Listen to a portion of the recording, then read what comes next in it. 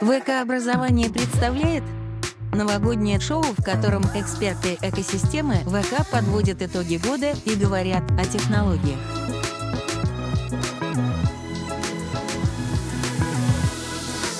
Привет, это Костя Сидорков, и прямо сейчас вы будете смотреть новогоднее шоу от ВК Образований. Тут вы узнаете не только все самые последние новости от компании ВК, но а также увидите крутых экспертов и узнаете, как же можно попасть в IT. ВК-музыка, Хабиб. Хабиб – музыкант, видеоблогер, автор хита «Ягода малинка», номинант на премию «Прорыв года» по версии Муз-ТВ. Хабиб, привет. А, спасибо, что залетел к нам в наш бар а, итогов года ВК образований. Ты человек, который представляешь музыкальную индустрию, и твой трек оказался на седьмом месте в списке самых прослушиваемых песен этого года, с чем я тебя отдельно поздравляю. Спасибо И большое. поэтому ты, как никто другой, наверное, поможешь рассказать всем молодым музыкантам, языком артиста, скажем так, о нашем продукте, который мы представили совсем недавно. Называется этот э, проект «Студия». Его создала команда ВК-музыки. Это платформа, которая помогает артисту в моменте, например, узнавать, какое количество человек слушает его треки, из каких городов, из каких стран. Наша музыкальная платформа ВКонтакте существует уже ну, почти с десяток лет, и э, платформа открыла огромное количество имен. Это и Макс Корж, это и Джа Халиб, Скриптонит и так далее. И причем, если 10 лет назад на нашей платформе там появлялся в год ну, там один, два, может, три каких-то артиста, когда мы подводим, например, итоги года, смотрим на там 30 самых прослушиваемых песен, мы понимаем, что отчасти, наверное, там треть или четверть этого списка год назад еще не были известны. Надеемся, что наша студия поможет артистам на платформе развиваться, как э, такой открытый, э, уже даже не бета-тест, а уже открытый тест. Хабиб, в общем, я надеюсь, э, мы сейчас здесь с тобой сможем разобраться. Что первое здесь классное бросается в глаза, это количество человек, которые прямо сейчас тебя слушают. Прямо сейчас слушают, и можно прям видеть, что цифра, она меняется каждую секунду. То есть вы можете увидеть э, в моменте, сколько людей слушают прямо сейчас. То есть пока мы здесь сидим, общаемся, Ну, сколько- а, 2 400, и, ну, плюс-минус там 60 человек слушают, и эта цифра постоянно то вверх, то вниз. То есть прикольно, что ты в моменте понимаешь, что две с половиной тысячи человек тебя сейчас слушают, и, ну, как бы, наверное, понимаешь, что ты все делаешь правильно. Ну, если там было ноль, да, то да. Слушай, ну А и- из прикольной статистики, когда вышел буквально месяц назад нашумевший альбом от Кизару Big Baby Tape «Бандана», ребята выкладывали скриншот где-то в 0.20, то есть спустя там э, 20 минут после полуночи, когда вышел альбом, альбом слушало 200 тысяч человек единовременно. То есть вот здесь вот было Да, здесь цифра было написано 200 тысяч. Да. Давай покопаемся в статистике, потому что я, ну, уверен в том, что трек «Ягода малинка», скорее всего, тебя слушает, э, там, ну, наверное, девчонки, ну, до 18, там, скорее всего, должен быть самый большой рейтинг. Давай зайдем в аудиторию, вкладка. Так, А, И начинаем смотреть, э, кто же слушает ягоду малинку. вау. я- Ничего себе! Ты Подожди. должен был сказать мальчишки и девчонки, а также их родители.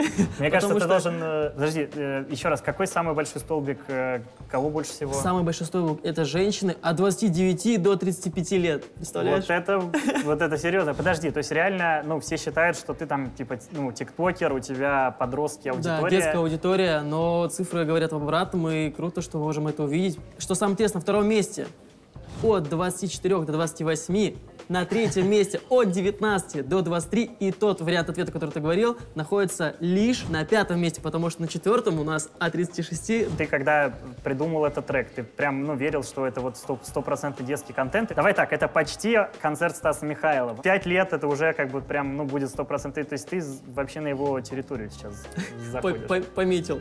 А, на самом деле, когда создался трек «Ягода малинка», никто не думал, что он попадет именно в детскую аудиторию. Просто это был очередной релиз, который готовился, и думали, что будут слушать все.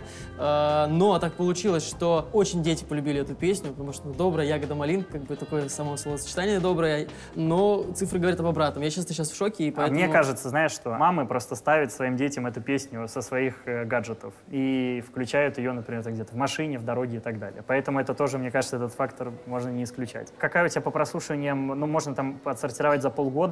Давай, какая самая неожиданная, например, Неожиданно. страна там вот в этом сейчас заходим. есть? Самое неожиданное... Кто в этом списке? Туркменистан. Так, а по городам у тебя ожидания, как ну, Москва, я так подозреваю, самый популярный. Ну, Москва самый популярный, Питер, конечно же. А, Новосибирск. Что самое интересное, в, этом, в этой подборке нету города Казань. Там, а, есть, но он только всего лишь на восьмом месте, потому что я сам из Казани. А, на третьем месте Новосибирск и Екатеринбург. Мне кажется, что это как минимум хороший звоночек для твоего концертного директора, понимать, Да. э, куда нужно продавать ближайшие концерты. На самом деле И- очень удо- удобная именно вот эта вот подборка по городам, когда можно выстроить примерный какой-то гастрольный тур и знать, где больше, где меньше. Где и уже- наверняка площадку, ну, так же, как да, выбрать побольше площадку, да. То есть, если э, брать Краснодар, то на 12 месте, то тут можно поскромнее, а вот в Москве или в Питере можно уже Ну, а в собирать. Томске можно вообще пока еще подождать и поехать туда в следующем году. Да. Самый популярный трек, ну, я могу предположить. Давай посмотрим, может, из последних треков э, там, за эту неделю, где у тебя там больше всего слушателей. Заходим во вкладку «Музыка» и смотрим э, вот эти последний релиз «Дискотанцы».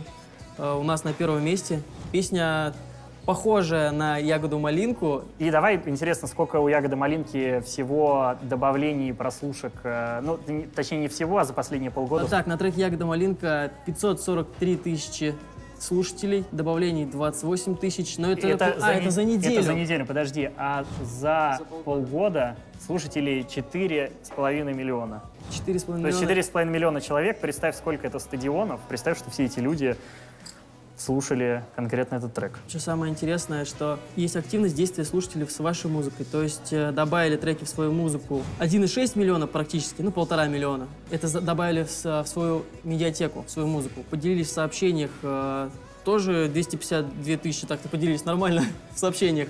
А, в плейлисты, ну то есть э, очень много людей добавило себе в Короче, медиатеку по- песню. простым языком ты можешь понимать, насколько трек вирален, насколько Да. он а, сам по себе расходится, и нужно ли тебе вливать еще, например, какие-то дополнительные деньги в рекламу. То есть можно проанализировать и понять, как дальше двигать свою музыку, свое творчество. В общем, я уверен, что ты точно можешь взять планшет и сегодня прекрасно провести вечер и ночь. И вообще, мне кажется, честно говоря, с учетом всех этих э, метрик можно этим процессом заниматься. Да, можно и анализировать, э, вышел новый трек, и сразу смотреть, как он идет, и откуда можно еще добавить э, прослушивание, промо, то есть много всего, инструментов много можешь задействовать. Давай попробуем дать какой-то совет молодым музыкантам. Я уверен, что среди тех, кто нас сейчас смотрит, есть э, не только те, кто хотят, например, пойти э, работать разработчиком в команде прекрасного Артура э, или, про, или э, толкать приложение на, ре- на ревью в Apple. Может, кто-то действительно хочет стать музыкантом, и вот можешь дать какие-то простые советы, э, как человек, не имея финансовых ресурсов, но имея, например, доступ к э,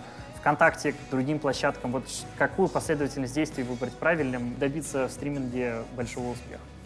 А, ну, конечно, самое главное — это написать песню так, чтобы она тебе нравилась, э, чтобы творчество было искреннее. Конечно, нужно сделать классное видео, снипет сейчас называют это, модное Это, словечко. это 15-секундное видео, как э, мини-клип такой. Мини-клип, который показывает э, самую сильную часть песни.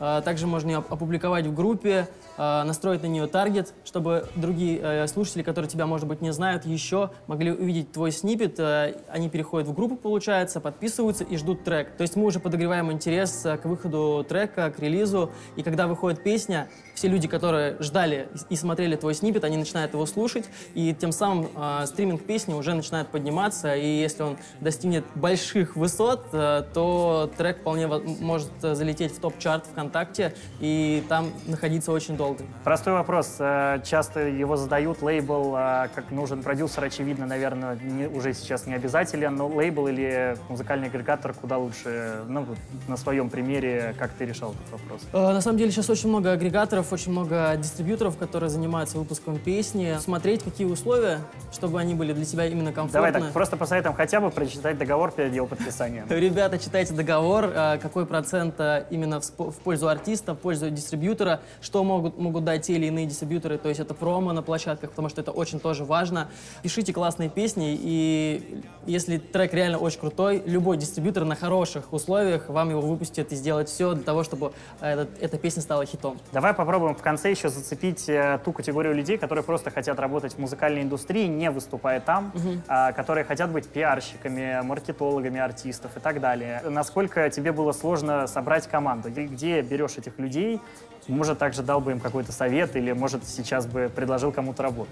На самом деле у меня очень такой случай. Меня сами люди нашли, и на- нашли меня люди, когда еще не было там суперхита, там «Ягода малинка», и мы начинали прям с самого начала, то есть это было на каких-то там бартерных условиях, то есть э, где-то я их поддерживаю, они меня поддерживают, там продвигают э, ну, на всяких площадках. Если у вас классный продукт, самое главное, вы не стесняйтесь показывать, э, выкладывайте.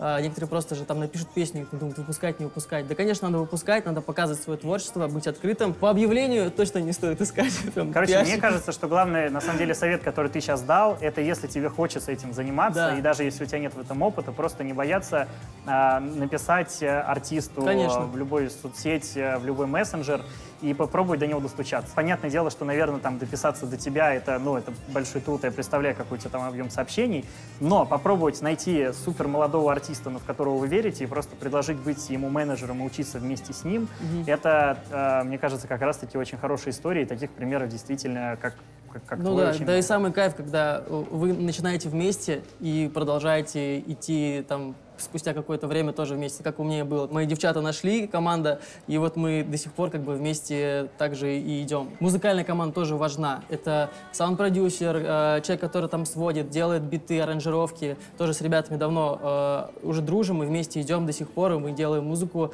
выстраиваем отношения, ну, такие уже доверительные, дружеские отношения. То есть у нас нет такого типа, вот ты фрилансер, ты пришел, поработал. То есть это такая э, Семья. братва, Как- семья. Как, как говорит Доминик Торетто, семья превыше всего. Да, семья превыше всего, и нужно найти эту семью, потому что, ну, одному тоже, конечно, можно, но когда у тебя э, есть команда, тебе есть кому довериться, ты можешь показать свой трек, что-то доработать, что-то сделать, и ребята всегда тебя Мне поддержат. кажется, что куда мы все придем, это просто нам э, искусственный интеллект начнет сам писать треки. Поверь, у меня есть э, э, супер классный пример крем-соды, которым э, нейросеть нарисовала обложку трека, и более того, нейросеть нарисовала клип. Они просто взяли и выгрузили в эту нейросеть определенные слова, и нейросеть превратила все эти слова в какое-то изображение. Это больше похоже на такую пока авангард. Но я уверен, что буквально пройдет еще несколько лет, и, ну, в общем-то, алгоритмы нейросети смогут нам реально точно снимать клипы. С музыкой тоже уже были такие примеры.